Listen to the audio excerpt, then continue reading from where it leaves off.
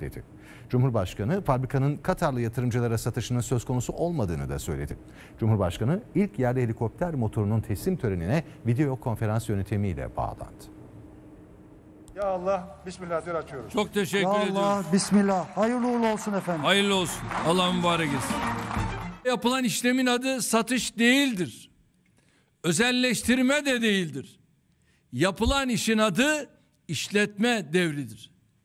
Mülkiyeti Milli Savunma Bakanlığımızda kalmak üzere bir Türk şirketi olan BMC'ye 25 yıllığına işletme devri yapılan fabrikanın Katarlı yatırımcılara satışı gibi bir durum kesinlikle söz konusu değildir.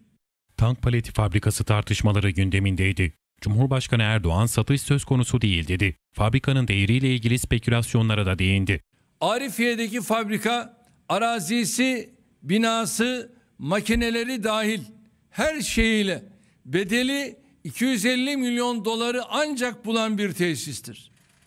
Bu fabrikaya 20 milyar dolar diyen hem ömründe hiç fabrika görmemiştir hem de 20 milyar doların ne anlama geldiğini bilmiyordur. Sürecin yargıya taşındığını da söyledi. Danıştay usulsüzlük olmadığını tescillemiştir dedi. neresinden tutsanız elinizde kalacak bir iftira ile karşı karşıyayız. Savunma sanayi projelerimizde Amerikalılarla, İngilizlerle, Almanlarla, diğer pek çok ülkeyle ortaklık yaptığımızda ne oluyorsa ne bir eksiği ne bir fazlasıyla Katarlı yatırımcılarla da aynısı olmaktadır. Evet hazır mıyız? Cumhurbaşkanı Recep Tayyip Erdoğan Eskişehir'de yerli helikopter motorunun teslim töreninde konuştu. Türk savunma sanayinde yeni bir döneme girildiğini anlattı.